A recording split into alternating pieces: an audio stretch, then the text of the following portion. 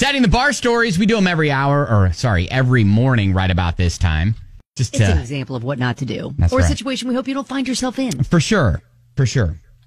So if you can manage to make it through the day without claiming the snake you shoved in your carry-on as your emotional support pet, you're doing okay. OMG! Oh, that's not a typical expected emotional support animal. Probably didn't have certification either. Now, TSA does allow emotional support animals to be on planes. They the only animal, however, they say is allowed is a dog that has been trained to help passenger with disability. Otherwise, the animal has to go and um, like in the the cargo hold or whatever, you know.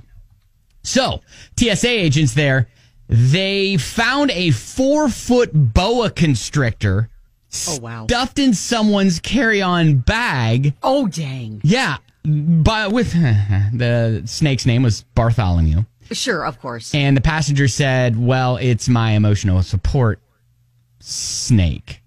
Oh, Barthy, he loves to travel. Yeah. Yeah. So they said, No, can't get on the plane with you because we've all seen the movie Snakes on a Plane, right? Oh, you didn't end up well. No. I mean, I didn't see it. I just heard. Uh, It yeah. didn't end up well. Yeah. So actually, here's the thing: like the passenger made it all the way to the plane until TSA finally figured out. Oh, wait, hang on a second. Uh, they they realized the X-ray image of the boa constrictor was actually that of a boa constrictor. Like, uh, it, they made it through. T- Really? TSA check until, and then the TSA had to go to the gate, basically go, "Hey, wait, hang on a second. Was We- that really a snake? Yeah, like exactly. snake. Can, can we can we take a look at that again? It, it must have been like how heavy was that bag?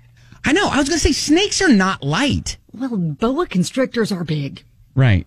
So, anyways, if you're traveling and you're thinking, you know what, I'm going to take Bartholomew, my pet four foot boa constrictor, on as my emotional support. In a carry-on. Yeah, you may have to think twice about how you do that. All right? Yeah. All right. So there you go. Setting the bar on 99.